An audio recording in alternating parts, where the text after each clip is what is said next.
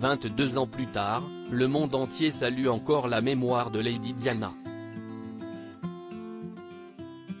Le 31 août 1997, la princesse de Galles disparaissait dans un tragique accident de la route, dans le tunnel du pont de l'Alma. Pour l'anniversaire de la mort de Lady Di, le peuple britannique a une nouvelle fois rendu ce samedi 31 août un hommage vibrant devant sa maison, à savoir le palais de Kensington, au cœur de Londres. Les banderoles, photos et messages d'affection se sont multipliés sur les grilles. De son vivant, Lady Diana était aimée à travers le monde entier pour sa grâce et son humanité, très impliquée dans les causes caritatives, et plus particulièrement pour les enfants défavorisés. Diana, princesse de Galles, à tout jamais dans nos cœurs.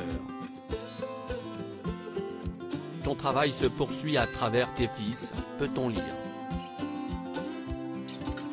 une référence à l'engagement humanitaire et pour le peuple du prince William et du prince Harry.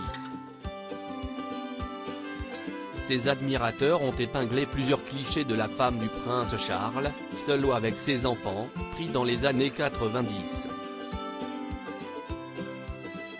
En France, est sur la place de l'Alma, là où la flamme de la liberté brûle à deux pas de la scène, que des personnes se sont rassemblées pour lui rendre un énième hommage.